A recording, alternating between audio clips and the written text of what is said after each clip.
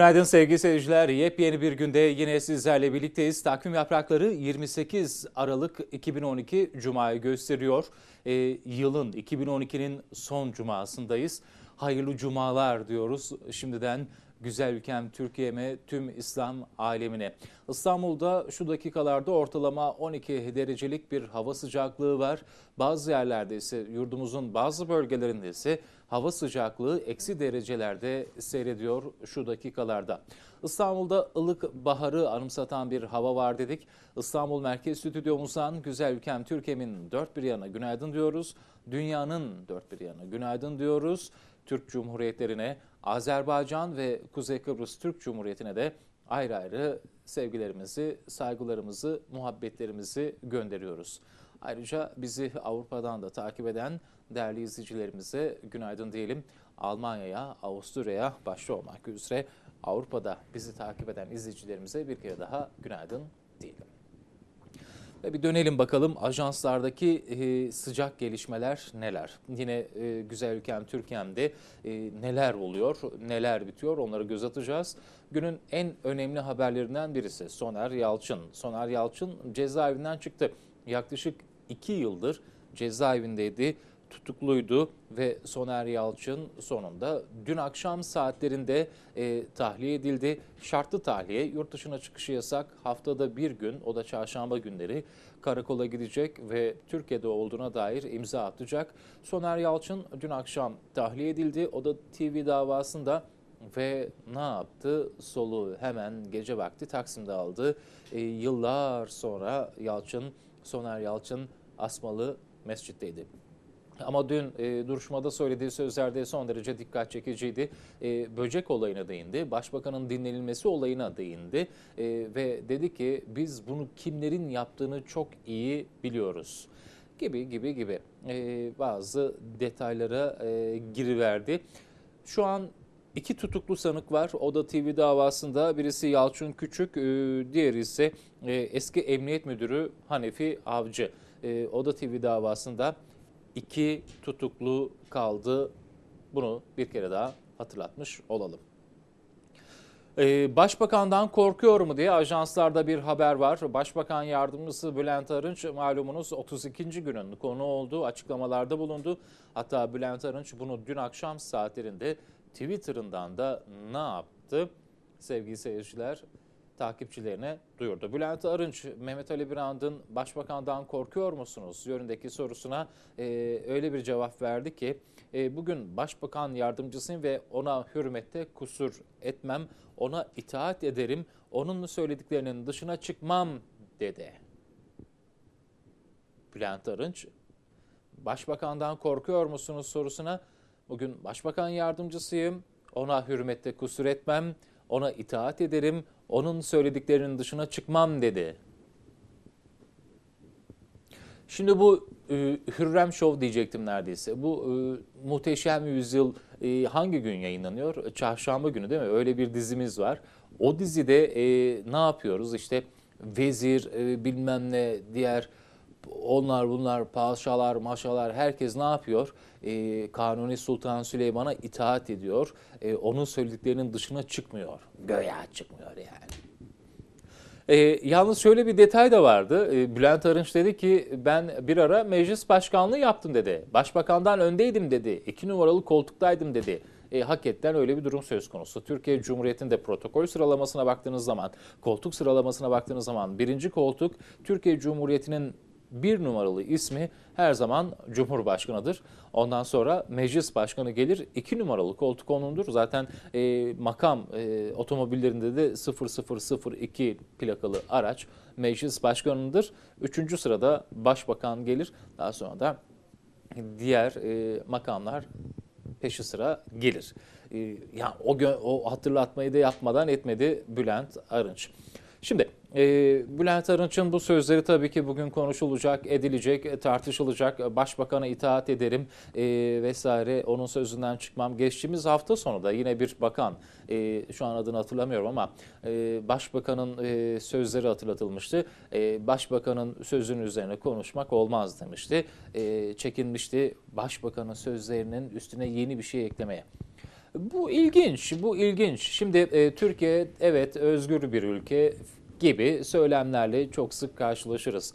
Ama e, hakikaten özgür müyüz? Hayır. Bugün e, kabineye baktığınız zaman, iktidar partisine baktığınız zaman, hadi milletvekilleri bir kenarda kalsın, bakanlar bile e, çıkıp da başbakanın sözü üzerine e, söz söylemiyorsa, e, başbakanın lafı üzerine laf söylemek olmaz diyorsa, bu ülkede özgürlüklerin ne kadar ciddi manada ayaklarının yere bastığı bir kez daha oturup düşünülmeli, tartışılmalı. Bana göre her ortamda e, herkes düşüncesini insanlık e, ölçütleri içerisinde insanlık ölçütleri bu çok önemli bir kavram açıklayabilir, açıklamakta zorunda. Evet herkes görüşünü söyleyecek, herkes görüşünü söyleyecek ki konuşulacak, tartışılacak, doğru yola ulaşılacak. Ama e, görüş açıklarken bunu artık e, görüşten çıkarıp e, kavgaya dökmek aha bu e, en sık yaptığımız hatalardan biri. Bundan da e, inşallah tez vakitte kurtulacağız efendim, kurtulacağız. Neyse, e, CHP sanki bu konuda biraz daha rahat bir parti. CHP'de e, milletvekilleri e, ne yapıyor? Çıkıp e, istedikleri gibi beyanatlarda bulunabiliyorlar. Yani herhangi bir milletvekili ana muhalefet partisinden e, işte ben şurada yayına katılacağım, şu televizyona çıkacağım, şu radyoya çıkacağım, şu gazeteye röportaj vereceğim diye. Yani böyle e, bir yerlerden e, izin almak zorunda değiller ya. Ondan sonra zaten tabii insanı da kırmazlar. Telefon açtığınız zaman tabii hay hay derler. Ee, neyse, e, üniversite genel sekreteri öldürüldü. Kastamonu Üniversitesi Genel Sekreteri Muhittin Sağlam evinin önünde uğradığı silahlı saldırıda hayatını kaybetti. Kastamonu Üniversitesi Genel Sekreteri Muhittin Sağlam silahlı saldırıya uğradı. Ağır yaralı olarak İsfendiyar Anadolu Hastanesi'ne kaldırıldı. Ancak hastanede yapılan tüm müdahaleye rağmen kurtarılamadı, hayatını kaybetti. Saldırıda vücuduna 4 kurşun isabet etti. Kastamonu Üniversitesi Genel Sekreteri Muhittin Sağlam'ın 4 el ateş edildi. Kastamonu Emniyeti saldırıyı gerçekleştiren, saldırıyı düzenleyen zanlı ya da zanlıların yakalanması için operasyon başlattı. Tekrar edelim Kastamonu Üniversitesi Genel Sekreteri Muhittin Sağlam evinin önünde uğradığı silahlı saldırıda hayatını kaybetti. Ajanslara göz atmaya devam edelim sevgili seyirciler. Ee, bir spor haberi olsun. İşte Reles'in cezası tükürme yok, sportmenliğe aykırılık.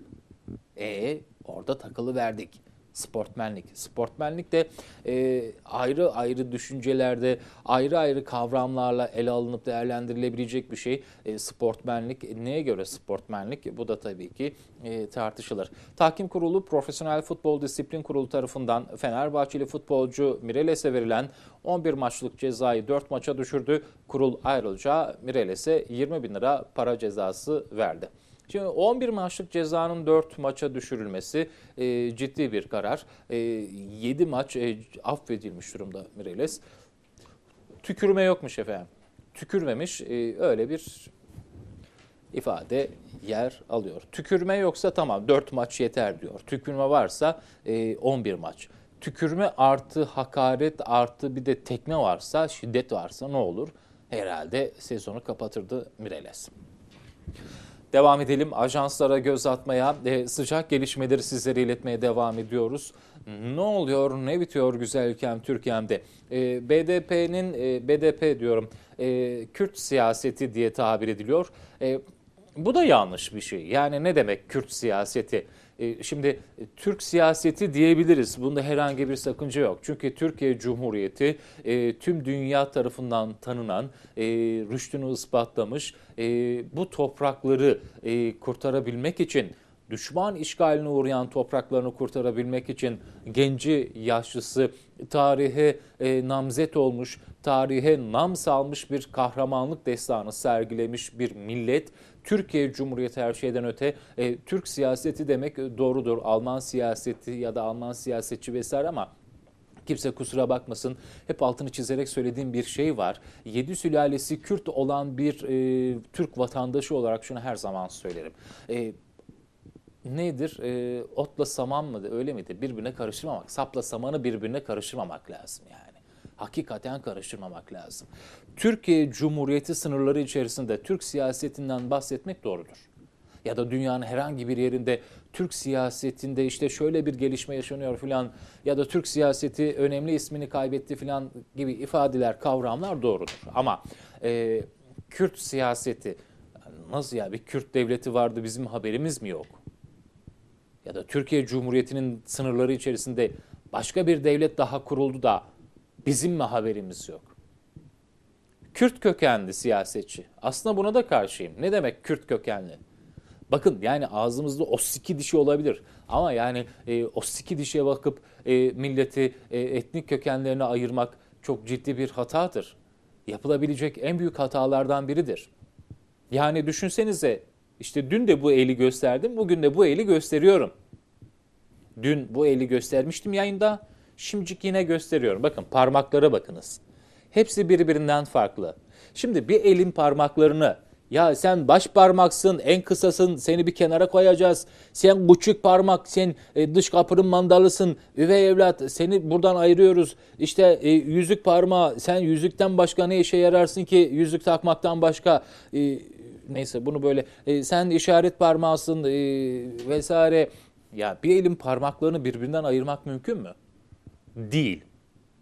Hepsi farklı özelliklere sahip. Hepsi e, bir e, gözükse de ortak noktaları parmak ama hepsinin farklı işlevi var. Eyvallah.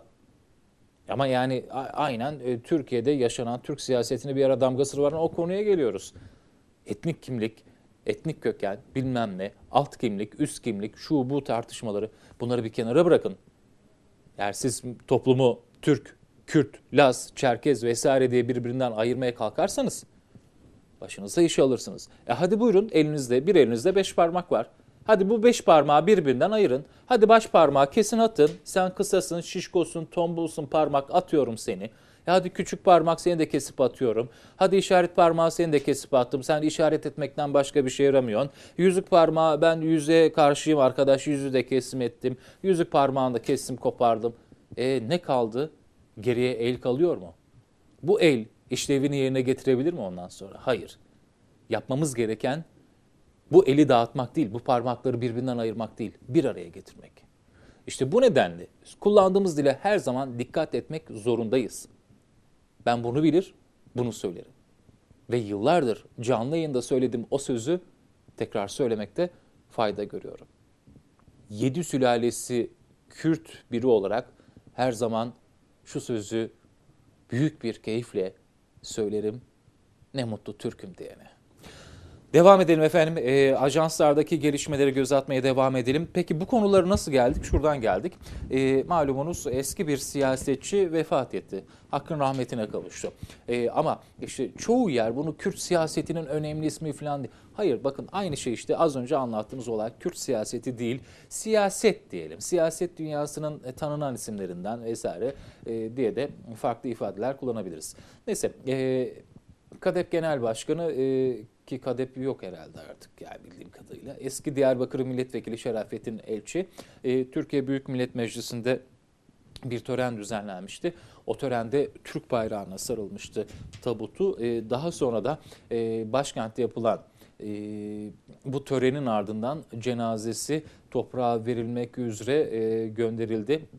Cizre'de e, BDP'ler tarafından karşılandı. Bir gün önce Türkiye Büyük Millet Meclisi önünde Türk bayrağına sarılan e, elçinin naaşı Cizre'de BDP bayrağına sarıldı.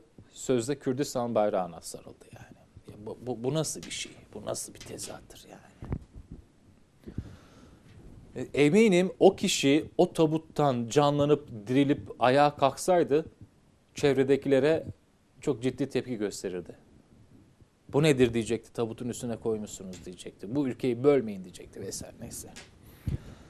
İşte önemli olan öldükten sonra değil. Yaşarken doğruları görüp, doğruları anlayıp hayatımızı ona göre idame ettirmek. Dün farklı televizyon kanallarında bir görüntü geldi ekranınıza. Bilmem takip edebildiniz mi? Sen o haberini görmedin diyeceksiniz. Neyse o ayrı bir tartışma konusu da. Şimdi o görüntüde bir Mehmetçik doğuda 2 metre karın içerisinde operasyon düzenleniyor. Mehmetçikler terör inlerine e, baskınlar yapıyor. Ama baskınlar yaparken teröristlere insan gibi davranıyor. Görüntülerde bir Mehmetçik e, bir mağarada bulunan, yakalanan teröriste insanca yaklaşıyor. Oturup onunla konuşuyor. Biz kardeşiz diyor. Niye birbirimize kurşun sıkıyoruz diyor. Yani motomot ifadeler değil ama böyle. Arkadaşlarına da çağrı yap. Onlar da vazgeçsinler bu terör örgütünden. Doğru yola gelsinler. Biz bu ülkenin insanlarıyız, bu ülkenin çocuklarıyız. Ve benzeri ifadeler kullanıyor. En sonunda soruyor teröriste. Annem baban yaşıyor mu? Terörist diyor ki bilmiyorum. Türkçe söylüyor bunları terörist. Peki neden bilmiyorsun? Hiç görüşme. En son ne zaman görüşün diye Mehmetçik teröriste soruyor. Beş yıl önce gördüm diyor. Beş yıldır görüşmüyorum diyor. Görüşemiyorum annem babamla diyor. Bilmem anlatabiliyor muyum. Ha bu ODTÜ olaylarına da bir gelelim. Bu ODTÜ e, çok abartıldı bilmem ne. Yani herkeste bir kıvılcım lazım herhalde. Yok işte o oraya. Yok ODTÜ'ye 3500 polisle değil 500 puanla girilir. Bilmem ne olur. Ya bırakın bunları arkadaş. Yani protestonun da bir edebi adabı vardır yani her zaman şunu söylerim. Tamam bakın zat olarak, kişilik olarak vesaire bilmem ne beğenmiyor olabilirsiniz. Başbakanı, mevcut başbakanı ya da bundan önceki başbakanları ya da bundan sonra gelecek olan başbakanları ya da bakanları beğenmiyor olabilirsiniz. Siyasi görüşünüz olsun, dini görüşünüz olsun, inançsızlığınız olsun, dini görüş derken yanlış bir şey anlaşılmasın. O, o, o, o bir sürü sebep. Peş peşe bunlar sıralanabilir. Ama Türk milletinde şöyle bir gelenek, şöyle bir örf vardı. Devlet büyüklerine saygı bugüne kadar misyonerinden bilmem nesine kadar birçok e, e, zatı muhtereme e, saygı gösterildi de e, ne oldu şimdi yani? Ben bunu bilir bunu söylerim. Ne olursa olsun geleneklerimize, adetlerimize sahip çıkacağız. Tabii yani bu e, siz söyleyiniz e, töre cinayetlerinden falan bahsetmiyorum. O kadar uç noktalar değil. Ama e, sonuçta bir başbakan Tamam protesto ettin ettin. Tamam tepkini dile getirdin. Sloganını attın bilmem ne. Daha polisle niye çatışıyorsun? İşte bir genç yaralandı. Hastanede tedavi bilmem ne. O gencin arkadaşlarının attığı taşlarla yaralandığını biliyor musunuz? Bilmiyorsunuz. Belki de bilmiyorsunuz ama ben söyleyeyim işte gerçeği size. Ya ne diyorsun? Şu, bunu diyorum işte yani sonuçta bir başbakan. Tamam beğenmiyor olabilirsiniz, sevmiyor olabilirsiniz ama işin dozunu niye kaçırıyorsunuz? ODTÜ'de bakıyorsunuz eylem, o, bu bilmem ne. Ya bunu daha uzatmanın bir anlamı yok bence. Hiçbir anlamı yok. Geçtiğimiz aylarda da Fatma Şahin, Sayın Bakan İstanbul'da bir tenis turnuvasıydı herhalde. Uluslararası bir tenis turnuvasında yuhalandı vesaire. Sadece Fatma Şahin değil başka bakanlar da. Ayıptır her şeyden önce. E, hadi bırakın mevkisini, makamını, bakanlığını. Her şeyden önce bir hanımefendi karşınızda. Bir devlet insanı sonrası. Yani bu eleştirilerin de yani protestoların falan da her şeyinde bir artık adabı olmalı yani. E, aşırı gaza gelmiş kitleler olarak e, tabir ediyorum ben bunları. Üniversite öğrencileri, gaza gelmiş kitleler. Herkes de katılmıyor buna. İyi de yani her görüşteki üniversite öğrencisi gaza gelirse ne olacak bu memleketin hali? E bir düşünün ne olacak? Yapmayın etmeyin yani. Hayır yarın öbür gün ben de başbakan olurum ondan sonra gelirler beni de protesto eder böyle bir şeyler atar. Vallahi e, yani gaz sıkıldığı zaman ben karışmam o zaman yani.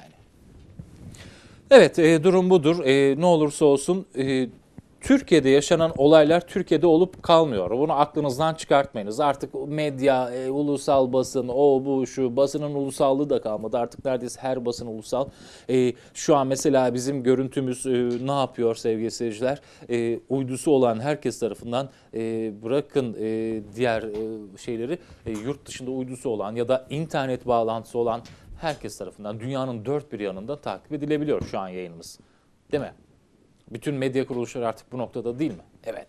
Mesela ben ODTÜ'deki olayların görüntülerini ekrana taşıdığım zaman dünyanın başka bir noktasında birisi görüp de ulan bak Türklere bak görüyor musun? Çinlere bak lan birbirlerini yiyorlar diye. Bizde dalga geçmez mi? Ya o olaylar sadece Türkiye Cumhuriyeti sınırları içerisinde kalmıyor. Yaşanan o olaylar. Bence ODTÜ bilmem ne artık abartılmamalı. İşte Galatasaray listesini basmalar, onlar yapmalar. Ya öğrenciysen öğrencisin arkadaş. Yani sen eğitim yuvasına niçin gidiyorsun? Orada bir siyasetçi olarak yetişmek için gidiyorsan eyvallah o ayrı bir şey. Ama artık partilerin siyaset okulları var. Her partinin siyaset okulu var. Görüşüne gider göre o partinin siyaset okuluna gidersin, kaydını yaptırırsın vesaire vesaire vesaire eğitimini alırsın olur biter bilmem ne falan fişman. Ama üniversiteler bilim yuvası haline gelmeli artık. Siyaset yuvası haline gelmemeli. Hayır üniversiteler siyaset yuvası, sağ görüşü, sol görüşü, orta görüşü, şu görüşü, bu görüşü derken e üniversite gençleri işte işsiz. İşsiz tabii. Böyle giderse işsiz kalmaya da devam edecek. Üniversiteye ne için gidiyorsun? Siyaset yapmak için. Peki siyasetinde başarılı olur musun? Hayır. Çünkü yarın öbür gün bu ülkenin yönetimine gelemeyeceksin. Gelsen de gençler arasındaki işsizliği düşürmek için ne kadar çaba sarf edeceksin peki? Hiç. Bugün üniversite gençlere işsiz, işte böyle böyle bilmem ne diye slogan atarsın. Yarın öbür gün siyaseti bir yere gitsin. E, gençler de artık yani iş seçmemeli, okuduğu bölümü oku, onunla ilgili iş yapmak mecburiyetinde gibi böyle laflar söylenir bilmem ne. Ya insanoğluna hakikaten bir döneklik var yani. Geçtiğimiz gün Levent Kırca kalktı, bir takım sözler sarf etti, çok tepki çekti filan da ama yani ya adam haklı bir arkadaş kusura bakmayın yani. Adam yıllarca sizi güldürdü, güldürdü, güldürdü olacak o kadarlar falan böyle okut haber merkezi olacak o kadar falan. O hepsine güldünüz, güldünüz. Adam bir gün gerçeği söyledi. Kaldınız. Ne iş? Ya hakikaten bir döneklik söz konusu yani. Efendim e, ha nerede kalmıştık? Şurada kalmıştık, yolda kalmıştık. Ajanslardaki haberlere devam ediyorduk. Göz atmaya devam ediyorduk. Bu ODTÜ olayları artık yeter diyorum. E, üniversitelerde e, siyaset yapılmasın artık bilim e, öğretilsin. Bilim e, neşredilsin. Bilim e, fışkırsın üniversitelerden artık. Bilim adamları yetiştirelim ya. Bilim adamları yer, e, yetiştirelim. Göktürk 2'yi ne yapıyoruz? E, şunu yapıyoruz. Göktürk 2'yi e, uzaya fırlatıyoruz. İyi güzel fırlattık da şimdi yani Göktürk 2'yi gönderdik de o fırlatma rampası bilmem ne e, bunları tümüyle milli olarak yapmak lazım. E nasıl yapacağız? İşte o üniversitelerde bilim insanları yetişecek ki öyle yapabileceğiz yani. Neyse ay Aa, bakalım efendim çok konuştuk değil mi? Ee, evet ee, şimdi ekranınıza bir...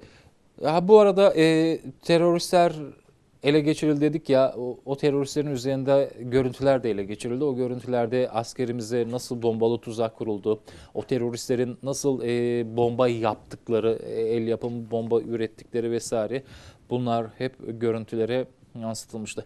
Efendim size bir haber daha çöl ayısı öldü.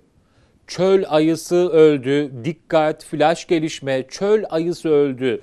Bahtsız e, deve, kutup, çöl, ayı, çöl ayısı öldü efendim. 1991'deki Körfez Savaşı'nda Amerika ve müttefik birliklerine komuta eden çöl ayısı lakaplı Amerikalı emekli General Norman Schwarzkopf 78 yaşında öldü. Tekrar edelim çöl ayısı öldü.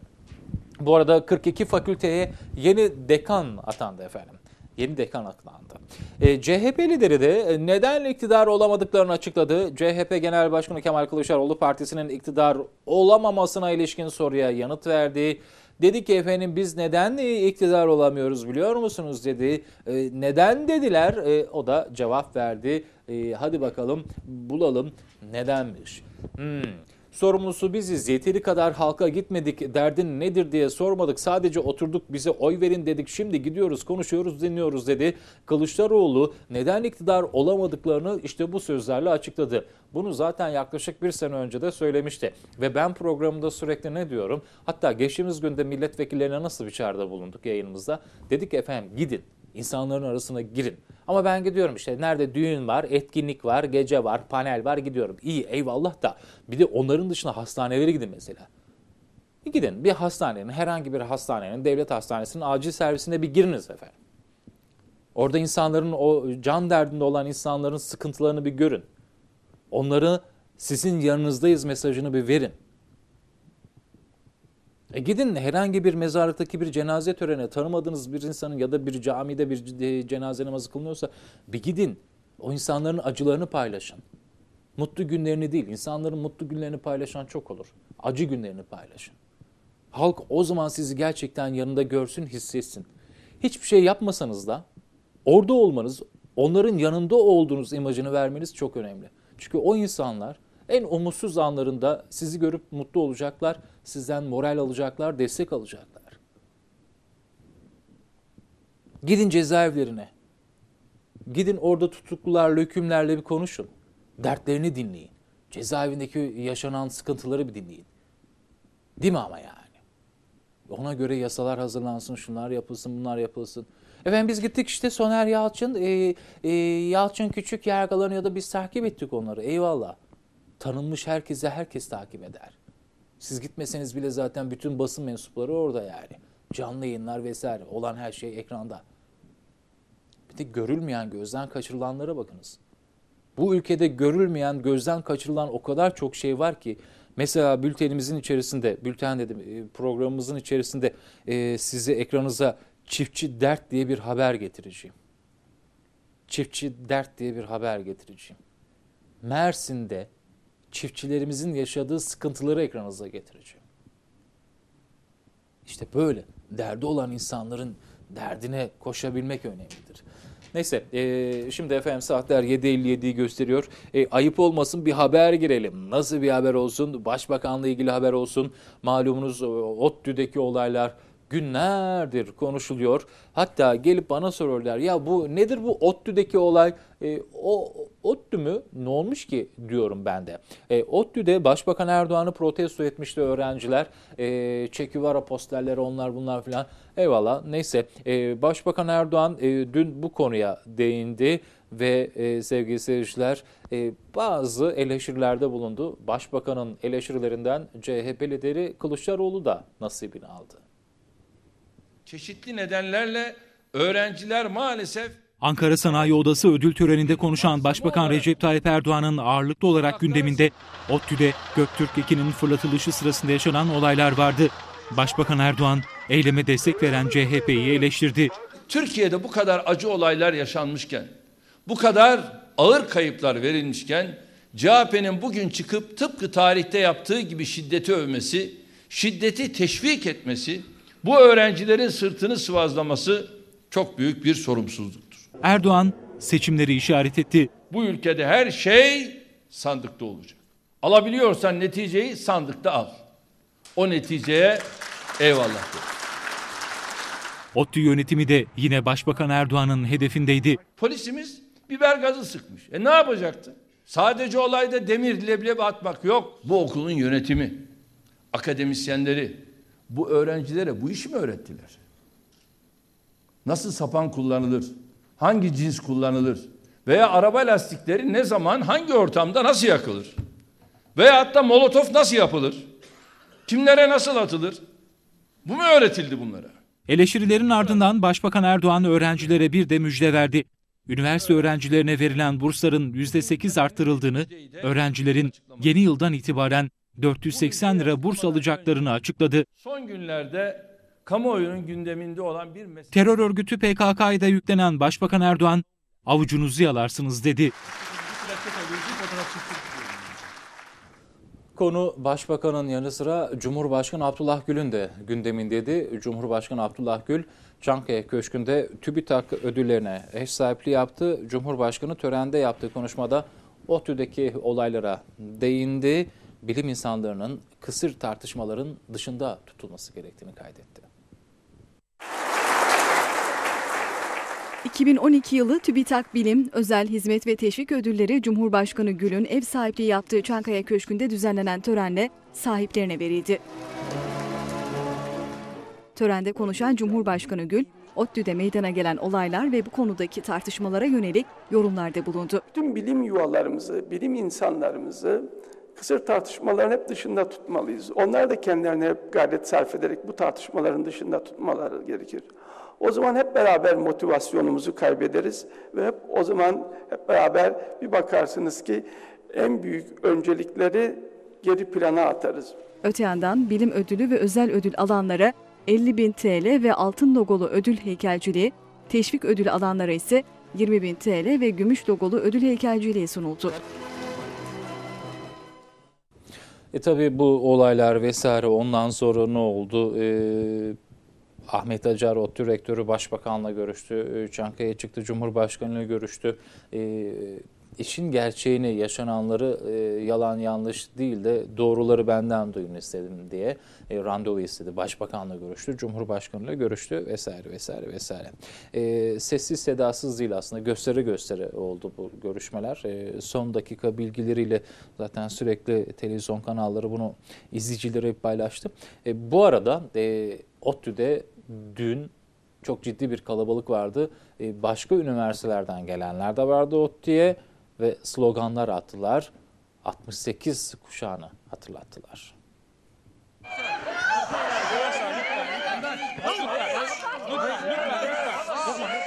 ODTÜ'de Göktürk 2 uydusunun fırlatılışı öncesinde çıkan olayların üniversitelerdeki ve öğrenciler arasındaki yankıları sürüyor. Protestoların gergin adresi bugün İstanbul Teknik Üniversitesi'ydi. İstanbul Teknik Üniversitesi Rektörü'nün ODTÜ'deki olaylarla ilgili yapılan ortak açıklamaya imza atmasına tepki gösteren bir grup öğrenci, üniversitenin Maslak kampüsünde toplandı. Slogan atarak yürüyen yaklaşık 300 öğrenci rektörlük binası önüne geldi. Öğrenciler rektörlüğe girmek istedi ancak güvenlik görevlilerinin barikatıyla karşılaştı.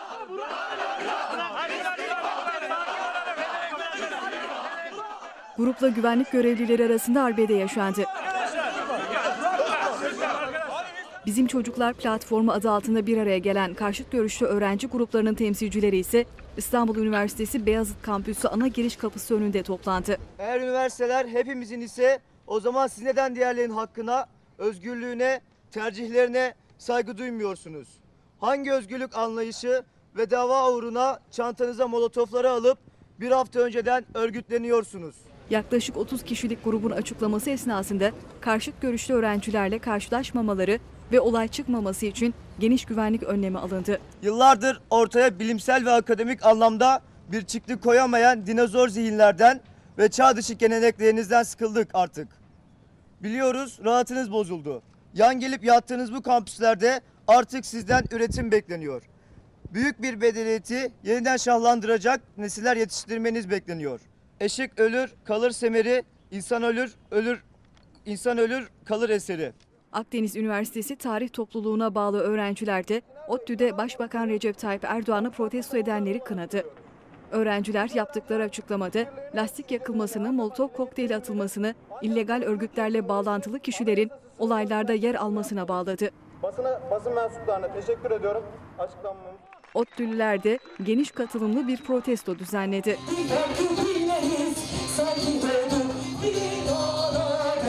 ODTÜ'deki Devrim Stadyumunda konser öncesi ODTÜ'lü öğrenciler 18 Aralık'ta yaşanan olayları protesto etti.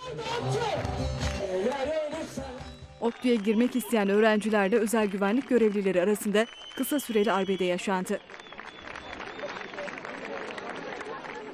Yürüyüşün ardından konserin olacağı stadyuma gelen yüzlerce öğrenci saha içinde birbirlerine kenetlenerek ODTÜ ayakta yazdı. Arkadaşlar oturuyoruz. İşte böyle bu arada sevgili seyirciler e, bize nasıl ulaşacağınız bilgisini de sizlerle paylaşalım. E, Facebook'ta TV2000 Murat Şahin tekrar edeyim. Facebook'ta TV2000 Murat Şahin sayfası. Twitter'da ise haber spikeri diye yazıp karşınıza çıkacak olan tweet sayfasından bize görüşlerinizi iletebilirsiniz. Facebook'tan ve Twitter'dan görüşlerinizi, mesajlarınızı bizlerle paylaşabilirsiniz. Efendim bir dönelim saatler 8'i 5 göstere İstanbul'un trafiğine bir göz atalım. Bakalım nerede trafik kilit halde İstanbul'da. İstanbul haftanın son iş gününe yine yoğun bir trafikle başladı. Nerelerde yoğunluk var, trafik nerelerde yavaşlıyor bunlara göz atacağız. İstanbul'dan trafikle ilgili bilgileri sizlerle paylaşmaya başlıyoruz. Tem Akşemsettin metris yönünde e, yaralanmalı trafik kazası var. Bir şerit trafiğe kapanmış durumda. Tem Akşemsettin metris yönünde yaralanmalı trafik kazası var. Bu kaza nedeniyle bir şerit trafiğe kapalı. Metris yönündeki kaza nedeniyle trafiğin giderek yoğunlaştığını belirtelim. Ee, Avrupa'ya geçişte Boğaziçi Köprüsü trafiği Acıbadem'den başlıyor. Anadolu yakasındaki izleyicilerimizi ilgilendiriyor bu. Ee, Anadolu yakasından Avrupa yakasına geçmeye hazırlanan sürücüler dikkat etsinler. Çünkü Avrupa'ya geçişte Boğaziçi Köprüsü trafiği da Acıbadem'den başlıyor. İstanbul'da trafik her geçen dakika yoğunlaşıyor. Bakalım bakalım bakalım. İstanbul'da trafik her geçen dakika sıkışıyor dedik, yoğunlaşıyor dedik. Bu arada e, ilginç mesajlar da geliyor tabii. E, özellikle bazı vekillerden mesajlar onu da paylaşmış olduk. Tem Ali Beyköy Gazi Osman Paşa yönünde maddi hasarlı trafik kazası var. Bir şerit trafik kapalı kazaya müdahale ediliyor. Tem Ali Beyköy Gazi Osman Paşa yönünde maddi hasarlı trafik kazası var. Kaza nedeniyle bir şerit trafiğe kapalı kazaya müdahale ediliyor. O 300 yıl İstoç istikametinde bir araç arızası var. O 300 yıl İs- İstoç istikametinde araç arızası var. Bu nedenle bölgede trafik yoğunlaşıyor. D100 Merter İncirli yönünde araç arızası var. D100'de eski adıyla E5'te Merter İncirli yönünde araç arızası var. Bu araç arızası trafiği yoğunlaştırıyor İstanbul'un e, iyice yoğunlaşan caddelerine, trafiklerine, ana arterlerine bakalım daha doğrusu. E, İstanbul'da yine e, köprü güzergahlarında ciddi bir sıkışıklık dikkat çekiyor. Köprülere gelmeden önce Anadolu yakasından başlayalım. E, Anadolu yakasında Tuzla istikametinden başlayalım. Yoğunluk zira Anadolu yakasında Tuzla'da görülüyor ilk etapta. D100 Tuzla'da Gebze yönünde ortalama 30 km hızla ilerleyebiliyor araçlar. Tuzla'ya kadar yer yer e, rahatlıyor trafik ama Tuzla'ya geldiğinde ortalama 30 kilometreye düştüğünü belirtelim araçların ortalama hızının. Mesela D100 Güzel Yalı'da ortalama 51 kilometre hızla ilerliyor araçlar şu dakikalarda. Yolda bir çalışma var. Bu nedenle D100 Kartal Kavşağı'nda trafik biraz yavaşlıyor. 21 kilometre olarak ölçülüyor. D100 Kartal Kavşağı'nda şu dakika itibariyle trafik akışının hızı. Bir yoğunlukta Kartal Gülsoy'un yönünde görülüyor. 50 kilometreye kadar düşüyor araçların hızı burada. D100 Küçük Yalı yönünde de Bostancı'dan Kartal yönüne gidişte 69 kilometreye kadar yavaşladığını belirtelim trafiğin. E, 59 kilometreye düşüyor Bostancı Göztepe mevkisinde mevkinde bu trafik. Anadolu yakasında Kadıköy'de, Kadıköy bölgesinde Göztepe'de 58 kilometre olarak ortalama hız dikkat çekerken Göztepe DMO önünde 47 kilometreye kadar yavaşlıyor araçlar. Acıbadem'de 45 kilometrelik bir hız söz konusu az önce de belirtmiştik. Köprü trafiği Acıbadem'e kadar yansıyor. Birinci köprünün trafiği D100 koşu yolunda e, Göztepe koşu yolu yönünde 160 kilometrelik bir hız söz konusu şu dakikalarda ortalama olarak. Altunizade Üsküdar katılımında araçlar 44 kilometre hız yapabiliyor. Boğaziçi Köprüsü'nün trafiği buraya da yansıyor. Tabii ki Anadolu yakasında e, köprüler her sabah olduğu gibi bu sabah da yine yoğunluğa sebebiyet veriyor. Devam edelim. Farklı noktalara göz atacağız. Anadolu yakasında trafiğin iyice kilitlenmeye başladığı yerlerden biri Ataşehir. Ataşehir kavşakta 15 kilometrelik bir hız söz konusu. Ee, bu kavşağa yaklaşırken Ataşehir Şerif Ali istikametinde Çamlıca gişeler yönünde 27 kilometreye kadar düşüyor araçların hızı.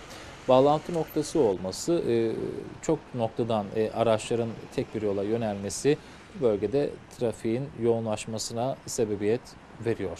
Peki bu noktadan ikinci köprüye doğru giderken durum nedir? Şu Kozyatağı Kavacık Tem Çakmak mevkinde 55 kilometrelik bir hız e, göze çarpıyor şu dakikalarda. Bu yolda yani e, Kavacık e, yolunda e, trafik her geçen dakika artıyor. Ataşehir mevkiinde e, Ümraniye dolaylarında e, ciddi trafik yoğunlukları olduğunu belirtelim. Tem Çakmak mevkindeki hız ortalama 52 dakika. E, Ataşehir'den ikinci köprüye ulaşmak isteyen sürücüler yol boyunca, güzergah boyunca e, trafiğin milim milim ilerlemekte olduğunu unutmasınlar. 25 kilometreye kadar düşüyor. E, Beykoz dolaylarında trafik Ancak köprüye girişte hafif bir rahatlama var. 40 kilometreye çıkıyor araçların hızı. Tam köprüye giriş noktasındaysa yine bir yoğunluk kendisini gösteriyor. Anadolu yakasından Avrupa yakasına geçişte. Tam tersi yönde Avrupa yakasından Anadolu yakasına geçişte Fatih Sultan Mehmet Köprüsü Karanfilköy noktasında 45 kilometrelik bir hız söz konusu. Fatih Sultan Mehmet Köprüsü OGS Terra bölgesinde 9 kilometreye kadar düşüyor araçların ortalama hızı. Daha önceki mevkilerde ise e, trafik bir hali rahat göze çarpıyor. İstanbul'un trafiğine göz atmaya devam ediyoruz. Birinci köprüde ve ikinci köprüde yoğunluklar olduğunu belirttik. İkinci köprüden tekrar birinci köprüye dönecek olursak Anadolu yakasından Avrupa yakasına geçişte Altunizade'de e, 19 kilometrelik bir hız söz konusu. Beylerbeyi'nde 38 kilometrelik bir hıza ulaşabilen araçlar Boğaziçi Köprüsü Avrupa e, istikametinde 29 kilometreye kadar düşürmek zorunda kalıyorlar hızlarına. Birinci köprünün üzerinde de yoğunluk var. Çift yönlü yoğunluk var. Avrupa yakasından Anadolu yakasına, Anadolu yakasından Avrupa yakasına geçişte birinci köprüde ciddi yoğunluk var. Ama birinci köprüden, Boğaziçi Köprüsü'nden çıktıktan sonra metrobüs e, noktasında 56 kilometre ile yava- yavaş yavaş rahatlayan trafik Çağlayan istikametine geleninde çok daha hızlı bir şekilde akmaya başlıyor Avrupa yönünde. Tam ters noktada Mecidiyeköy noktasında e, köprüye doğru Anadolu yakasına geçmek isteyen sürücüler Mecidiyeköy noktasında yavaşlamaya başlıyorlar. Zira birinci köprünün trafiği kendisini burada hissettirmeye başlamış durumda. Avrupa yakasında Beşiktaş'tan bağlantı yolunda ortalama 14 km hızla ilerleyebiliyor araçlar. Trafik yoğunluğu sabah trafiği buraya da vurmaya başladı.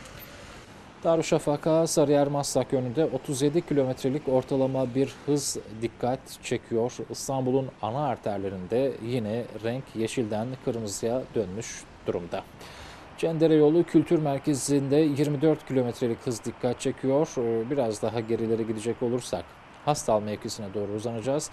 Kemerburgaz ayrımında e, 35 kilometre hız yapıyor araçlar.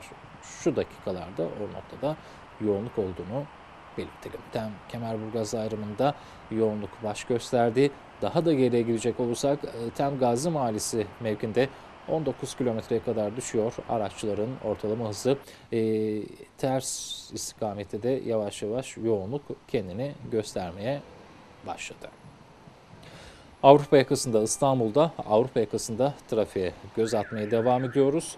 Haliç mevkine döneceğiz ama Haliç'ten önce bir arayola bakalım. Nurtepe'de Hastal Ok Meydanı istikametinde 20 kilometreye kadar yavaşlamış durumda trafik. Ok Meydanı DMS'de 14 kilometreye düşüyor araçların hızı. Haliç Köprüsü girişinde Çağlayan'dan Topkapı istikametine 13 kilometre hızla gidebiliyor otomobiller, araçlar. Edirne Kapı'da Topkapı Ok Meydanı yönünde 20 kilometrelik bir hız var. Yoğunluk burada kendini gösteriyor. İki yönde de yoğunluk var. D100 Edirne Kapı mevkinde 16 kilometreye kadar düşmüş durumda araçların hızı. Topkapı Haliç yönünde e, Merter Haliç istikametinde giden sürücülerin e, trafik yoğunluğunda bunalmaya başladıklarını belirtelim. 14 kilometre olarak ölçülüyor ortalama hız. Bayrampaşa E6 mevkinde 26 kilometrelik bir hız söz konusu. Esenler taraflarına yaklaşınca O3 atış alanı istikametinde e, Aksaray iki telli yönünde 21 kilometreye kadar düşüyor hız. Bayrampaşa Mahmut Bey noktasında 22 kilometre olarak ölçülüyor ortalama hız. Tem Hürriyet karşısı Tekstil Kent iki telli mevkinde e, trafik bir nebze de olsa rahat. Tem Hürriyet önünde gelindiğinde e, yoğunluk kendini gösteriyor. İki telli Tekstil Kent arasında 20 kilometrelik bir hız söz konusu. Yani Mahmut Bey gişeler girişinde e, şu dakikalarda bir rahatlık var. E, sürücüler rahat rahat Tem Mahmut Bey gişelerden geçebiliyorlar ama Edirne istikametinde e, Tem gişelerinden, Mahmut Bey gişelerinden e, Gazi Osman Paşa, e, İstoç mevkiine gitmek isteyen sürücüler yavaş yavaş yoğunlukla karşılaşıyorlar. Tekrar E5 güzergahına dönecek olursak e, birinci köprünün trafiği Mecidiyeköy'den başlıyor. Haliç Köprüsü, Topkapı, Cevizli Bağ derken daha sevgili seyirciler Merter dolaylarına kadar uzanıyor. Birinci köprünün trafiği Merter'e kadar yansımış durumda. Merter'den daha da geriye geliyor hatta Yeni Bosna'ya kadar yansımış durumda. E, Yeni Bosna'da şu an ortalama 34 kilometrelik bir hız var Topkapı istikametinde. Yeni Bosna'dan Flore yönüne daha doğrusu e, Küçükçekmece yönüne giden araçlarsa ortalama 56 kilometre hız yapıyorlar. D100 Flore kavşağında 24 kilometrelik bir hız söz konusu bir yoğunluk var bu bölgede. Muhtemelen bir araç arızası var. D100 Küçükçekmece kavşağında 56 kilometrelik bir ortalama hız dikkat çekerken Küçükçekmece'de E5'te 26 kilometrelik hız göze çarpıyor. Avcılardan e, bilgiler iletelim. D100 Avcılar Hacı Şerif mevkinde Küçükçekmece'den Avcılar yönüne giden sürücüler 31 kilometrelik bir hızla ilerleyebiliyorlar. Üniversiteye geçtikten sonra trafik rahatlıyor ama tam tersi istikamette Avcılardan Küçükçekmece yönüne gidişte trafik yoğunluğu e, İGS taraflarında kendini hissettirmeye başlıyor. Bu arada e, tam Mahmut Bey gişeler yönünde trafik yavaş yavaş yoğunluğunu göstermeye başlamış durumda. Ve Beylikdüzü e, avcılardan Beylikdüzü'ne kadar şu an olarak net bir sıkışıklık göze çarpmıyor. Trafik e, rahat ilerliyor ama e, TÜYAP'tan sonra Büyükçekmece inişte S rampasında e, bir yoğunluk yavaş yavaş göze çarpıyor. E, yokuş olması, rampa olması o bölgenin trafik yoğunluğuna sebebiyet veriyor. İstanbul'un trafiği haftanın son iş gününde işte böyleydi sevgili seyirciler. Şimdi gelin güzel bir klip izleyelim ardından devam edeceğiz. İkili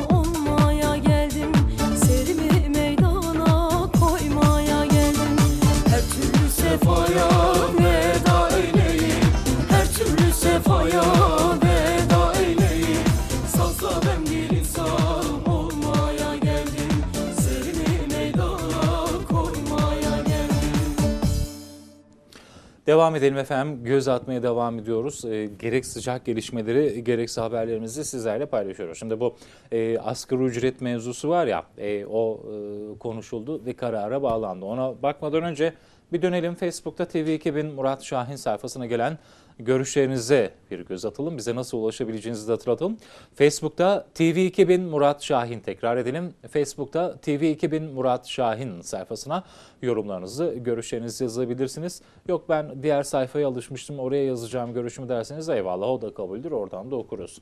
E, Twitter ortamındaysa et haber spikerine e, görüşlerinizi ulaştırabilirsiniz. Melek Anne diyor ki selamun aleyküm cumanız mübarek olsun ve aleyküm selam cümlemizin cuması mübarek olsun inşallah. E, dün Sayın Murat Başeskioğlu milletvekilimiz ilçemize geldi. Çok memnun olduk. Vallahi ben e, şaşırdım. E, haberim yoktu.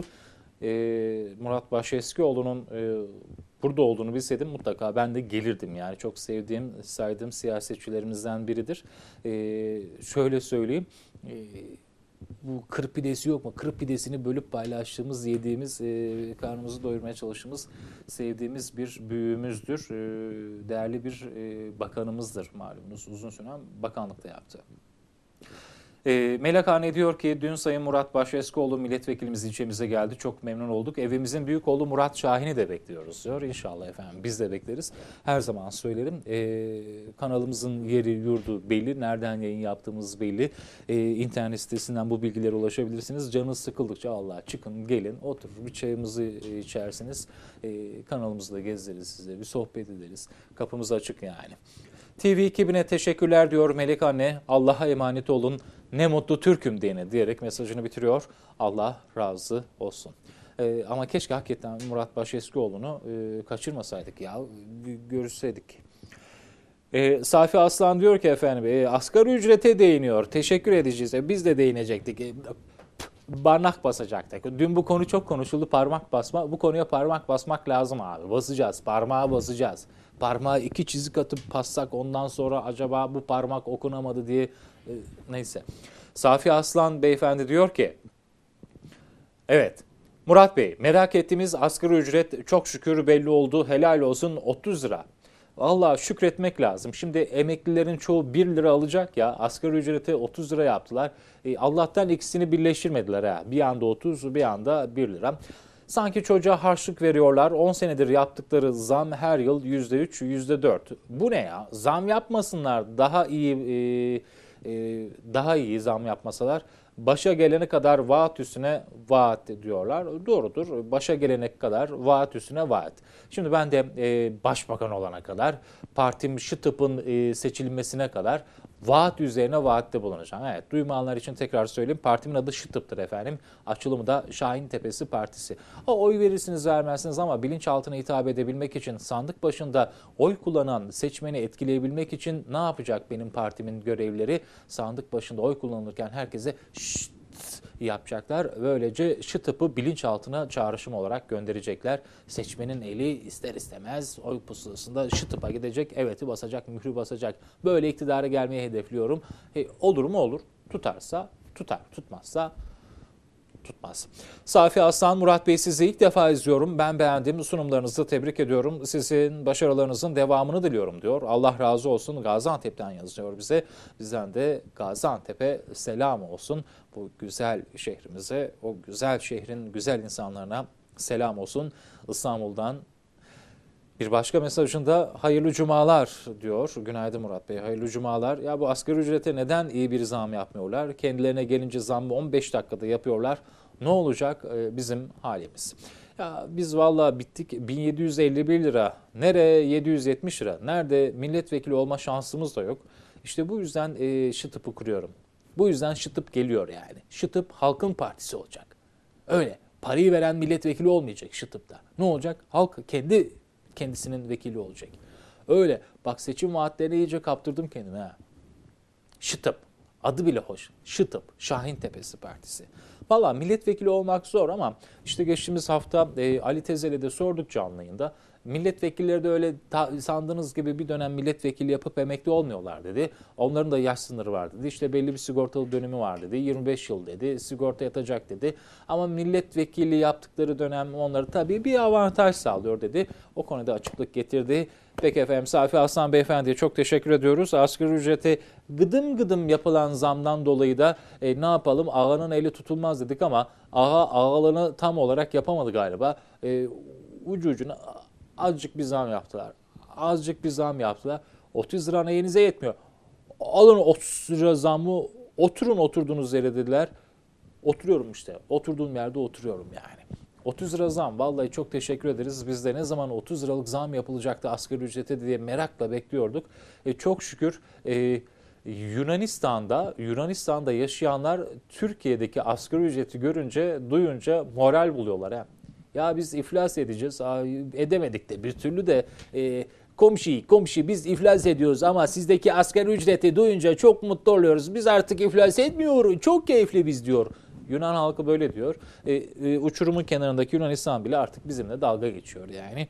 Vallahi öyle işte. Asgari ücrete hiç zam yapmayın da e, millet boş yere heveslenmesin ya. Hakikaten. Ya ben başbakan olsam yok arkadaş asgari ücrete zam yok derim. En azından vatandaşım der ki halkım der ki adam delikanlıca söylüyor zam yok diye falan der.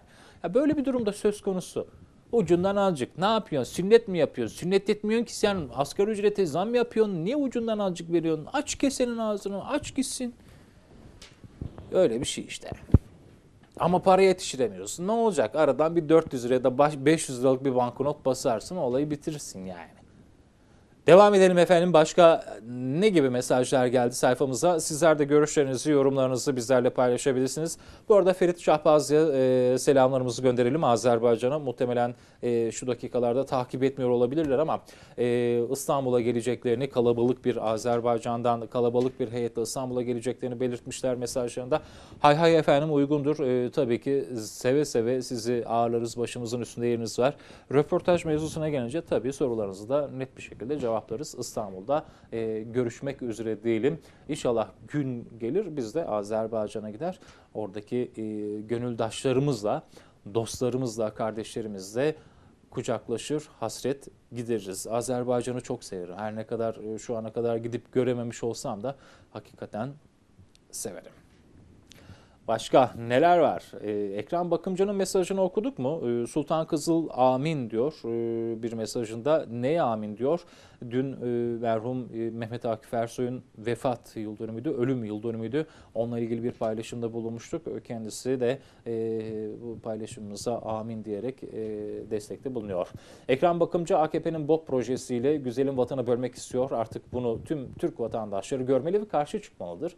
Suriye'de dökülen kanın bunun bir parçası ve bölünmeye yol açmak için atılan bir AKP adımlarından biridir. Olayları gerçek yüzüyle takip etmek için Suriye Haber Ajansı'nı takip edin lütfen diyor. Haklısınız, doğrudur efendim. Ekran Bakımcı'ya teşekkür ediyoruz.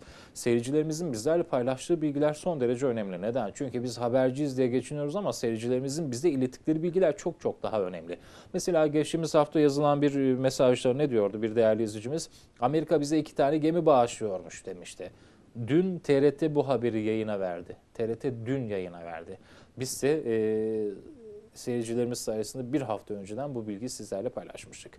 Karaçay Türkiye'de selamlarımızı gönderelim. E, Mehmet Akif Ersoy ile ilgili mekanı cennet olsun. Amin diyor. İnşallah amin diyoruz efendim. Amin, amin, amin.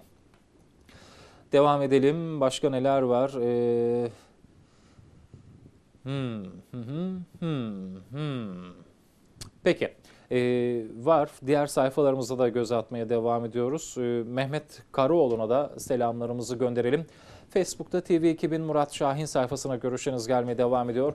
Mustafa Kök, Murat abi günaydın, iyi yayınlar. Ben Belçika, Brüksel'de yaşamaktayım. Ee, Avrupa öldü bitti diyorlar, iflas etti diyorlar ama burada asgari ücret 1500 avro.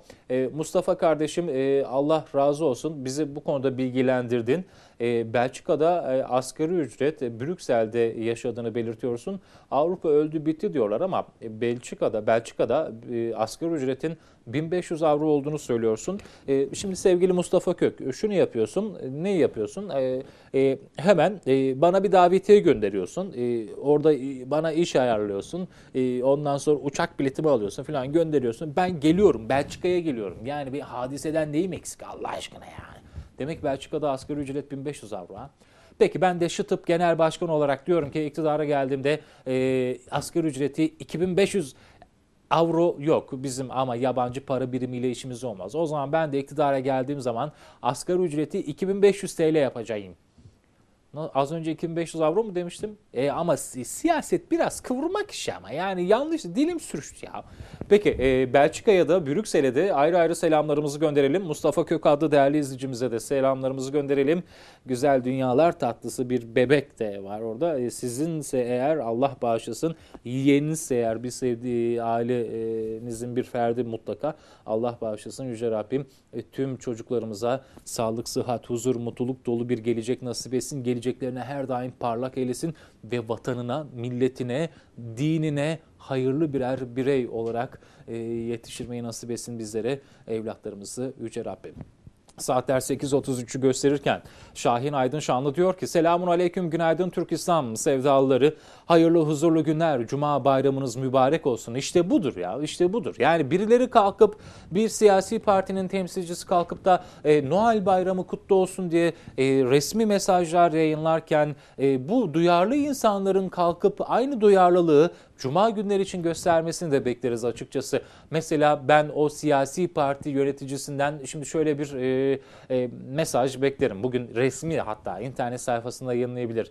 Tüm İslam aleminin Cuma bayramını tebrik ediyorum diye bir mesaj beklerim. Yayınlarlar mı? Pek sanmıyorum ya. Selamun aleyküm diyelim. Tekrar okuyalım mesajını Şahin Aydın Şanlı'nın. E, Selamun aleyküm günaydın Türk İslam sevdalıları. Hayırlı huzurlu günler. Cuma bayramınız mübarek olsun. Dünkü sorum hala geçerli Murat kardeşim. Özel harekatçı polisimizle ilgili bir haber var mı? Maalesef herhangi bir bilgiye ulaşamadım. Bu arada bir başka mesajına geçelim. Şahin Aydın Şanlı'nın. Kardeşim protestocuların polisle çatışması konusunda bir görüş sunmak istiyorum. Tabii ki e, ben kendi görüşümü paylaşmam ama sizler de tabii ki görüşlerinizi paylaşacaksınız. Benim söylediğim her şey doğru değil. E, siz de görüşlerinizi paylaşacaksınız. Her şeyde Amerika'yı, Avrupa'yı örnek alan yöneticilerimiz polisi halkın üzerine salmakta hiç örnek almıyor.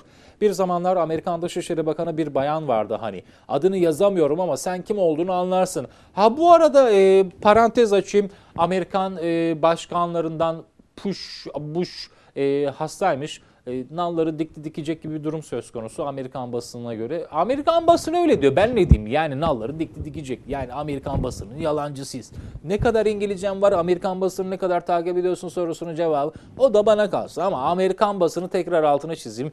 E, Baba Bush'un nalları dikmek üzere olduğunu belirtiyor. Ya ben hatta dün söyledim bu, bu Baba Bush değil mi ya dedim. E, kimse bir tepki göster. Baba Bush bu ya. Bush babalar gibi e, ölecek gibi gözüküyor. Ya. Bush ölecek. Öyle gözüküyor yani. Zaten 80 mi 80 küsür mü?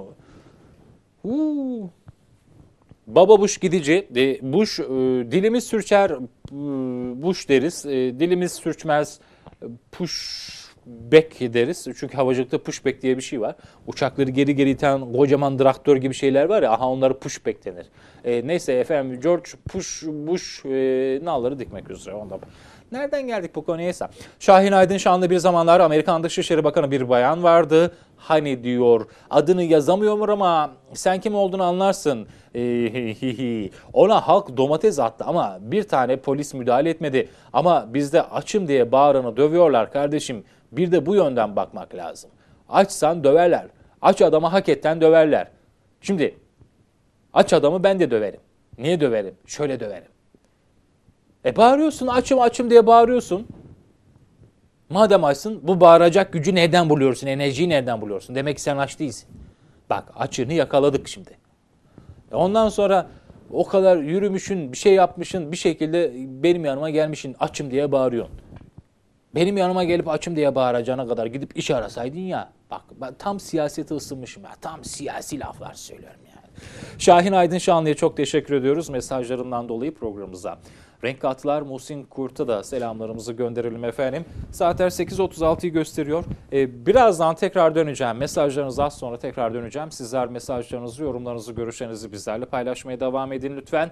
Facebook'ta TV2000 Murat Şahin tekrar edelim. Facebook'ta TV2000 Murat Şahin sayfasına yorumlarınızı, görüşlerinizi gönderebilirsiniz. Hakaret içermediği sürece görüşlerinizi e, sansürsüz bir şekilde e, kırpmadan okumaya gayret gösteriyoruz. Efendim hadi gelin e, asgari ücretle ilgili bir habere bir bakalım. Haberimize bir bakalım. Asgari ücret ne oldu, ne bitti? E, asgari ücretle ilgili açıklanan rakamlar asgari ücretle çalışan milyonlarca işçiyi nedenli mutlu etti? Buna bakacağız. Ardından tekrar mesajlarınıza döneceğiz. Enflasyon karşısında korumak için gerekli değerlendirmeler yapılmış ve 2013 yılında ülkemizde uygulanacak asgari ücret miktarı oy çokluğuyla belirlenmiştir. Buna göre aylık brüt asgari ücret 940 TL'den ilk 6 ay için 978.75 TL'ye. İkinci 6 ay için ise 1021.50 TL'ye yükseltilmiştir. Aylık net asgari ücret ise 739.79 TL'den 774 TL'ye. İkinci 6 ay için ise 804.70 TL'ye yükseltilmiştir. Böylelikle asgari ücret yılın ilk 6 ayı için yüzde 4.1, ikinci 6 ay için ise yüzde 4.4 artırılmıştır.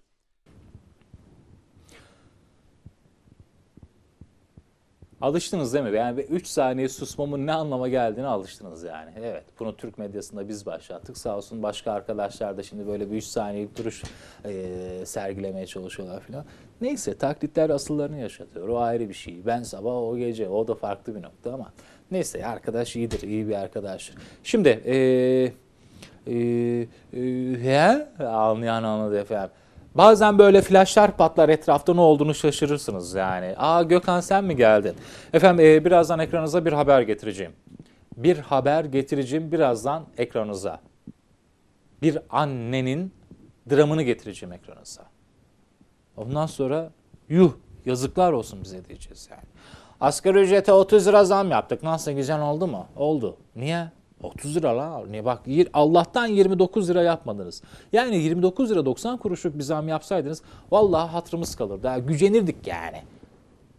Ama 30 liralık zam yaptınız ya mutlu olduk. Şimdi 30 liraya ne alabiliriz? Ha, 30 tane ekmek. Peki e, asgari ücretli bundan sonra 30 lira zam yaptık ya. E, 30 tane fazladan ekmek alabilecek evine. Her şey ekmek demek mi? Allah aşkına. E, İstanbul'daki ev kiralarından haberiniz var mı yani? Gece konduyu bile 500-600 liradan aşağı vermiyorlar. Dama akan gece kondu. Ha, ya minibüse biniyorsun 10 kuruşun yoksa şoför seni aşağı indiriyor. Bin be kardeşim arkadakine bin. Bir de minibüsün arkasına şey yazıyor. Bu mini, bu araçta e, eğitim almış İstanbul beyefendisi çalışmaktadır. Hadi ya İstanbul'un beyefendisi bu minibüs şoförü gibi de İstanbul'un hiç düşünemiyorum yani. E, durum bu. Durum bu yani. Asgari ücrete yapılan zam beni tatmin etti mi etmedi. Zam ince bir konudur, hassas bir konudur. Zammı adam gibi yapacaksan yaparsın. Adam gibi zam yapamayacaksan hiç zam mevzusuna girmeyeceksin. Ama zaten böyle şimdi adetten de her sene yıl sonuna doğru e, bir sonraki yılın asgari ücretinin belirlenmesi, işte bununla ilgili yönetmelikler, kanunlar, onlar bunlar, sendikalar, onlar bunlar, e, onlar da yatıyor. Ha, eskiden çok sıkı geçerdi bu zam pazarlıkları. Hakikaten. Çok sıkı geçerdi ya. Uzlaşı olmazdı bilmem. Şimdi ne oldu? Sessiz sedasız neredeyse asgari ücret bilmem ne. Aa, biz karar aldık bu kadar yapıyoruz zammı. Ha iyiymiş o zaman. İyiymiş. Allah'ım ya Rabbim. Bu, bu laf belki çok e, saçma gelebilir ama e, arkadaş adı üstünde. Asgari ücret değil mi? Asgari ücret. Bırakın asgari ücreti asker belirlesin. Ne demek istiyorsun sen? Sen şimdi ne demek istiyorsun asgari ücreti asker belirlesin derken? E ne bileyim hani böyle çağrışım yaptı o yüzden yani. Dorbacı mısın sen? Yok vallahi değilim. Yok yok öylesin. Yok vallahi değilim yani.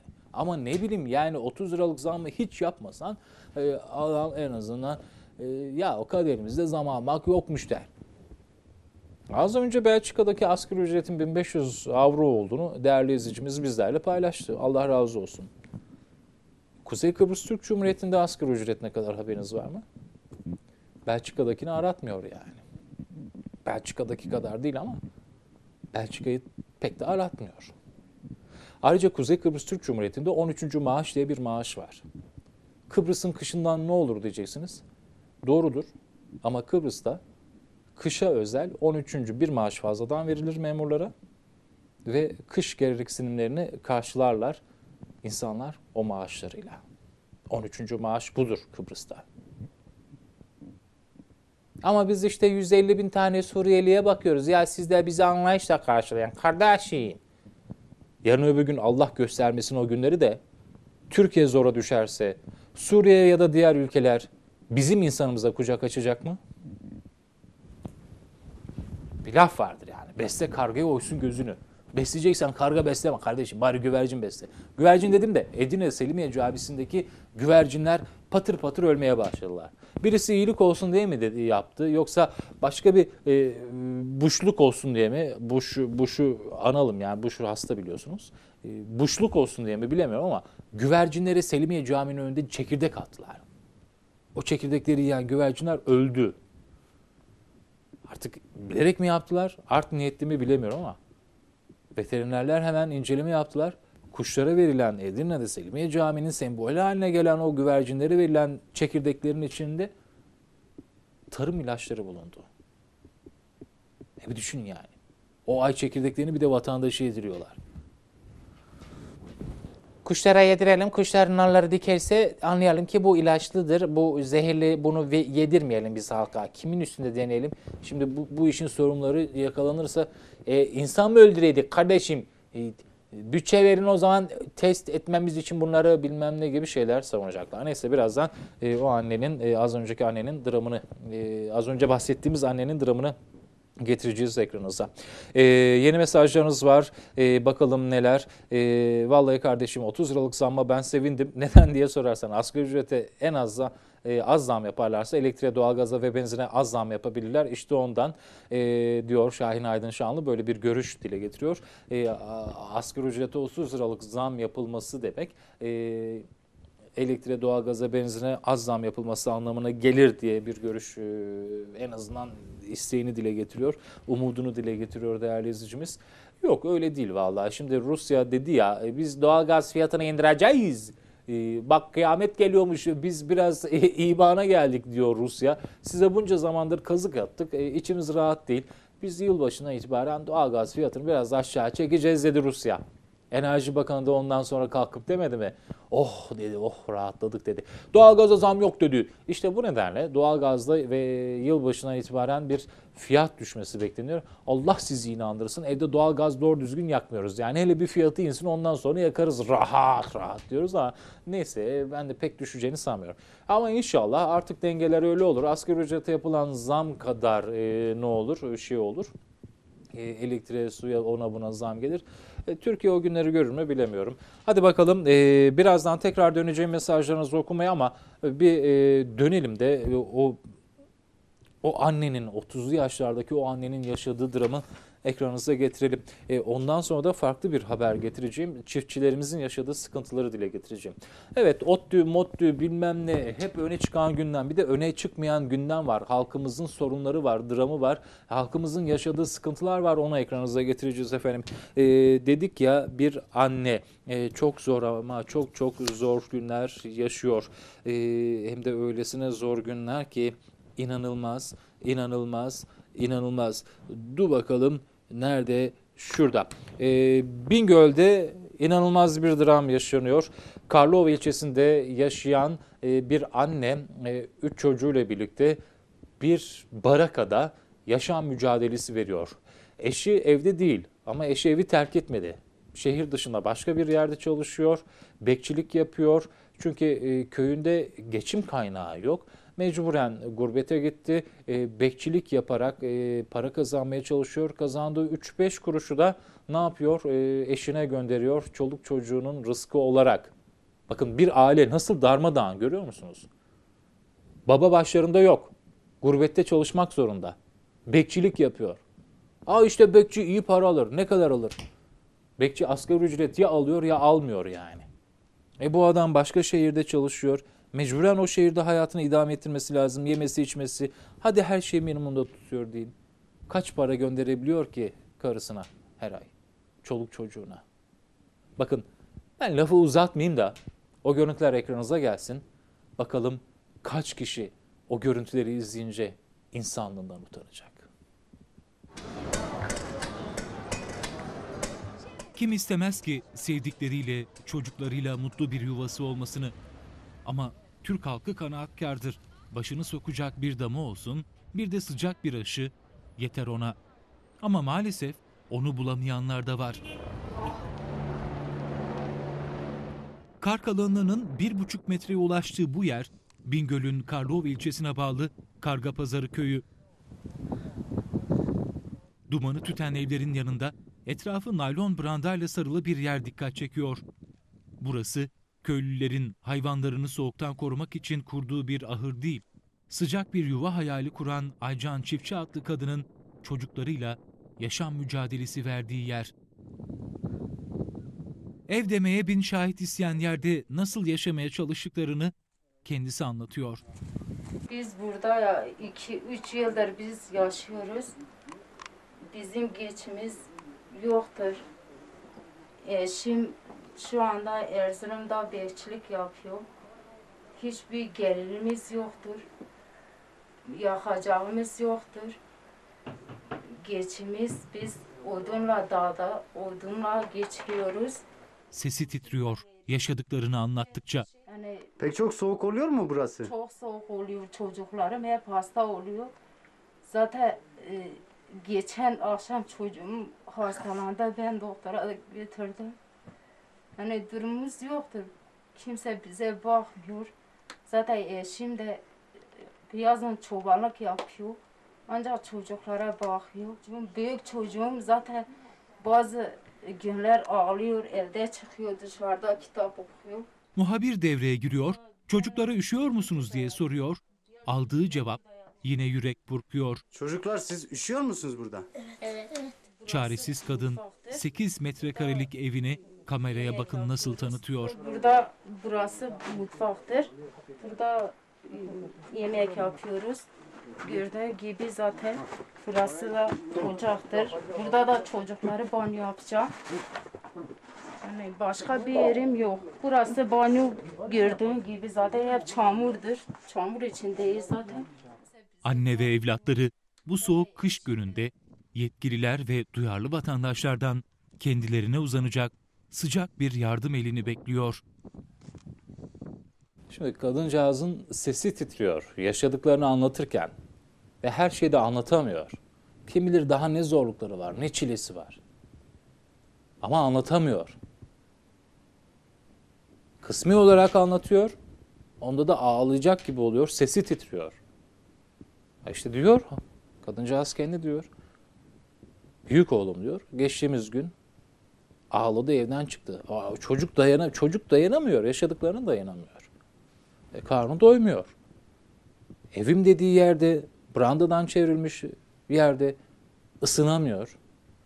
Doğru düzgün uyuyamıyor. Ya aç insan uyuyabilir mi? Üşüyen insan uyuyabilir mi? O Çocukların banyo yaptıkları yeri gördünüz. Tahtayla çevrilmiş, üstü brandayla örtülmüş filan. Zaten ısınamayan o çocuklar. Bir de o karın kışın kıyametin ortasında. E ne yapıyor? Banyo yapıyor. Ve yer çamur hep. Yer çamur çünkü etraf brandayla çevrilmiş. Bildiğiniz ev değil ki orası. Bir duvar var. O duvar gözüküyor zaten. O duvarın etrafı tahtalarla vurulmuş. Tahta konulmuş. Brandayla çevrilmiş filan. E Suriye'de vatanını satıp da vatanından kaçıp Türkiye'ye sığınan, gelen o insanlar ya bunlar artık aşmış durumdalar. Bir de Suriye için bir kampanya başlatıldı. Bir ekmek, bir battaniye. Ya önce kendi milletin, kendi milletin. Kendi milletin önce. Ondan sonra Suriye için bir ekmek, bir battaniye. Uganda, Muganda, Somali, Komali bilmem ne oralara yardım elini uzat. Sonra bu insanlar niye daha çıkıyor? O çocuk büyüdüğü zaman ne gibi duygularla büyüyecek? O üç çocuk pırlanta gibi ya. Allah bağışlasın yani. E şu geçtiğimiz günlerde de Melek adlı çaresiz kızımızın terlikle kar, kış, kıyamette okula gidişini izlediniz. Utanıyorum diyordu. Başını öne eğiyordu. Utanıyorum arkadaşlarımın arasında böyle gezmekte. Kızım sen utanmayacaksınız. Utanması gereken sen değilsin. Ajda Pekkanlar utansın. Somali'ye iniyorduk biz uçakla iniyorduk. Köpek çıktı önümüze korktuk. Vallahi mı? Meleği görünce de korktun mu? Bu çocuklar bizim evlatlarımız diyebildiniz mi? Ondan sonra 150 bin Suriyeli'ye sığınacaksın. Onları kucak açacaksın. Bilmem ne yapacaksın.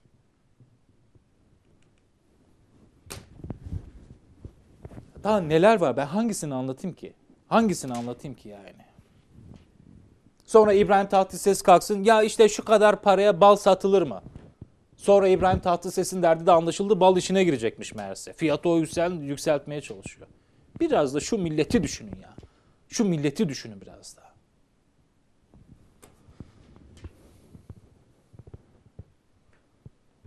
Ya bir gün benim kendi televizyon kanalım olursa rahmetli Ufuk Güldemir eski patronum gibi kendi televizyonumun sahibi olmak gibi bir şey nasip ederse Yüce Rabbim bana. Efendim Mustafa Kök, e, Murat abi resimdeki benim oğlum o da sizin hayranınız. Allah razı olsun, Allah bağışlasın. Allah geleceğini parlak etsin inşallah. E, gökyüzündeki parlak yıldızlar gibi çocuğunuzun, oğlunuzun geleceği aydınlık olur inşallah. O da sizin hayranınız. Her sabah seni izliyoruz. Burada vatanımızdan uzaktayız ama kalbimiz hep Türkiye'de. Türkiye'nin dünyada eşi benzeri yok. Hakikaten haklısınız. Yani Türkiye'nin eşi benzeri yok.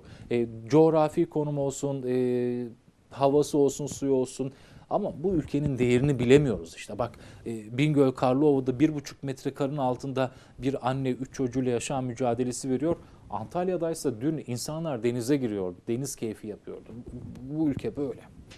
Ülkemizin kıymetini bilelim, birbirimize düşmeyelim. Başka Türkiye yok, Türkiye hepimizin vatanı diyor. Allah razı olsun. En güzel cümlelerle e, alınması gereken en önemli e, mesajı vermiş oluyorsunuz. E, çok teşekkür ediyorum. İhsan Pişkin, günaydın Murat Bey, hayırlı cumalar, cumanız mübarek olsun, cumamız mübarek olsun diyor. Ne mutlu Türk'üm diyene diyerek mesajını bitiriyor. İhsan Pişkin adlı değerli izleyicimize de selamlarımızı saygılarımızı gönderiyoruz. Bir mesaj daha okuyacağım. Sanırım e, bunun haricinde okumamış mesajımız yok. Az sonra da çiftçimizin yaşadığı sıkıntıyı ekranınıza getireceğiz efendim. Az sonra da çiftçimizin derdini ekranınıza getireceğiz. Şenel Aslan diyor ki selamun aleyküm Murat kardeşim hayırlı cumalar. PKK'ların ilaç faturası devlettenmiş. Doğrudur efendim. Dün bu haberi gördüm, inceledim, inceledim, inceledim ama Neyse. Sosyal Güvenlik Kurumu'nun 20 ilde başlattığı avuç içi okuma uygulaması büyük bir skandalı ortaya çıkardı. Uygulama sayesinde terör örgütü militanlarının bazı özel hastanelerde yakınlarına ait e, Türkiye Cumhuriyeti kimlik numarasıyla sağlık hizmeti aldığı tespit edildi. 45 terörist başkasının adıyla işlem yaptırırken yakalandı. Yetkililer PKK eczane doktor üçgenindeki usulsüzlükleri de mercek altına almış. Murat kardeşim biz sabahın 7'sinde kalkalım. Ne 7 mi? Ben 5.30'da uyanıyorum. 5'inde uyanıyorum hatta. Neyse e, sabahın 7'sinde kalkalım gecenin 12'sine kadar kahvede çalışalım. Vallahi işiniz zor. E, Allah yardımcınız olsun. Ayda 300 lira Bağkur parası ödeyelim de sağlıktan yararlanalım diye. Bu vicdana sığ, sığıyor mu? Haramla e, zukkum olsun diyor. Afyon Gülazı köyünden selamlar diye mesajını bitiriyor. Valla mesajınızda haklısınız. Ne derseniz haklısınız. Şu noktada haklısınız. Yani teröristler e, bu millete, bu vatanı bölmeye çalışan, bu vatanın evlatlarına kurşun sıkan teröristler bir de ilaçlarını e, bu devletin sırtından almaya çalışıyor. E, Sosyal Güvenlik Kurumu'nu dolandırıyorlar vesaire vesaire. Ya diyeceğimi bulamıyorum. Yani Haklısınız. Ee, ayda 300 lira Bağkur parası ödeyip sağlık hizmeti almaya çalışan ve biz çok mecbur kalmadıkça doktora gitmeyen bizler e, bu çileleri yaşarken teröristlerin bunları yapması Haklısınız Şenel Aslan'a çok teşekkür ediyorum. Görüşünden dolayı bu önemli mesajı da bizle paylaştığı için. Efendim şimdi e, tekrar teşekkürlerimizi iletelim değerli izleyicimize. E, kendi derdini de dile getirdi. Afyon'a da selamlarımızı gönderelim. Bir Mersin'e uzanalım. İzninizle bir Mersin'e uzanalım da programımızın sonunda Mersin'de Tarsus ilçesinde çiftçilerimizin yaşadığı sıkıntıyı bir görelim efendim. Yandık yandık. Tarlamızı kayayla kontrol ediyoruz. Kayayla. Neredesin Ahmet Uzun? Neredesin? Gel de gör. Bir daha o istemeye ne yüzle geleceksiniz buraya? Ahmet Uzun. Ne yüzle geleceksiniz o istemeye? Mersin'in Tarsus ilçesinde yaşayan çiftçiler hayatlarının en zor günlerini yaşıyorlar. Görsün milletvekillerimiz, hükümetimiz görsün. Çiftçinin ne halde olduğunu göresinler. Tarsus'ta geçen hafta etkili olan sağanak yağmur yüzünden Bahşiş beldesi ile Kulakköy arasındaki ekili alanlar ve seralar su altında kaldı. Şu an ben sizle konuşuyorum ama elim ayağım titriyor benim ya. Bir tane insan çıkıp da ya şu derdimiz ortak olmuyor ya. Çiftçilerin maddi zararı yüz binlerce lirayı buluyor. Yıllardır bas bas bağırıyoruz kardeşim. Diyoruz ki şuraya iki tane dev pompa, üç tane dev pompa. Yani devlet bu kadar aciz mi bunu yapmaktan ya? On binlerce dönüm ekili alan zarar gördü. Buğday, Türkiye Cumhuriyeti'nin bütün insanları besleyen gıdamız bu. Benim hayatım bu. 300 dönüm buğdayım bu halde gitti. Seram kabağım gitti. Ne yapmam lazım ben bir çiftçi olarak? Sadece benim istediğim pompa kurulacak. Başka hiçbir şey istemiyorum abi. 2002 yılından beri her yıl aynı sorunu yaşamaktan dert yanıyor. Fakat İstanbul'daki, Ankara'daki insanlar marul pahalandı, kabak pahalandı, biber pahalandı diyorlar. İşte sebebi bu. Bu görmüş olduğumuz bitkiler İstanbul'un, Ankara'nın yemiş ye- yediği marul. Su altında kalan ekili alanlar uzaktan göl gibi görünüyor. Benim bugün çocuğum sabah kalkıyor. Baba haçlık ver diyor. Ben veremiyorum. Gözlerim dolukuyor benim. Ben buradan kazanacağım köyle vereceğim ben bunu. Bu senede 150 milyar zarar var yine. Geçen sene de vardı bu sene de var. Sera ve tarlalarına tekneyle ulaşabilen çiftçiler siyasilerin verdiği sözleri tutmamasından dert yanıyor. Zepçemizin haline bak. Biz devletten para pul istemiyoruz. Sadece pompa istiyoruz yardım olarak. Çiftçimizin halini gördünüz sevgili seyirciler. Çiftçimizin halini gördünüz. Gölü anımsatıyor ama o göl değil oralar. Nedir oralar? Oralar sular alt bir haftadır su altında olan tarlalar. Yağmur yağdı, böyle oldu. Bir haftadır o tarlalar su altında. Erin ekinler zaten gitti. Çiftçilerin çiftçi başına her neredeyse her çiftçinin ortalama 100-150 bin lira zararı var. Eski parayla milyar. Bittiler. Sürekli 2002 yılıyla 2012 kıyaslayan yetkililere sesleniyorum. Az önce çiftçimiz kendi ağzıyla da söyledi. 2002 yılından beri bu sıkıntıyı yaşıyoruz dedi. Hadi buyurun 2002 ile 2012'yi şimdi bir kere daha kıyaslayın. Efendim bu programda o oldu, bu oldu, şu oldu değil. Halkımızın gerçek sorunlarını ekranınıza taşımaya gayret göstereceğiz. Sadece bu ekranda değil, Allah uzun ömür verdikçe, Allah ömür verdikçe, uzun uzun değil, Allah eee, ne diyelim güç verdikçe, ekranda olduğum sürece sizlerin sıkıntılarınızı ekranları taşımaya gayret göstereceğim. Evet çiftçilerimizin bu yürek burkan görüntülerinin ardından ne yapalım? Programımızı kapatalım. Olur da e, okumadığımız, gözden kaçan mesaj varsa lütfen gücenmeyin, darılmayın. E, program sorusunda tekrar kontrol edeceğim. Gördüğüm zaman ilk programımızda, bu da pazartesiye denk gelecektir. Mesajlarınızı okuyacağım efendim. Hadi programımızı kapatalım. E, Allah yar ve yardımcısı olsun. Bingöl'deki o anne, e, Tarsus'taki o çiftçilerimiz ve o durumdaki diğer vatandaşlarımızın. Evet, e, hadi kapatalım. Bugün Cuma dedik. Hayırlı Cumalar olsun. Cuma bayramınız kutlu olsun efendim. Yüce Rabbim size, sevdiklerinize, çoluk çocuğunuza, ailenize sağlık, sıhhat, huzur, mutluluk, güzellikler, bol kazançlar, bereket versin. Yüzünüzden gülücükler asla eksik olmasın. Yüce Rabbim yarattıklarının şerrinden sizi ve sevdiklerinizi korusun. Dualarınızda bu kardeşinizi de bir nebze olsa unutmayınız diyoruz ve o muhteşem sözü söylüyoruz. Hazır mısınız? Ne mutlu Türk'üm diye.